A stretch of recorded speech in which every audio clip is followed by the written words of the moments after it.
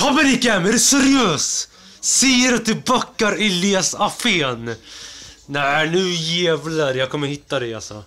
Jag kommer, jag kommer spåra din IP. Och du finns i Sverige, det lovar jag dig. Papenik M.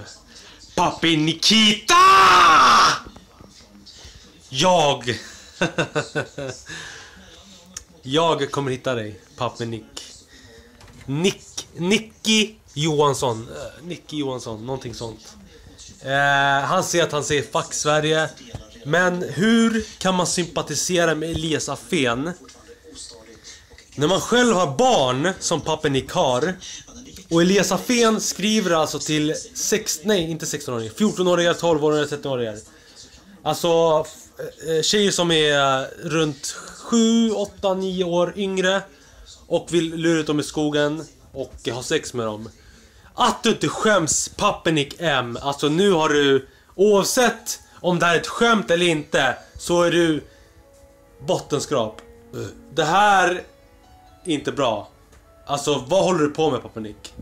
Helt ärligt. Nu räcker det.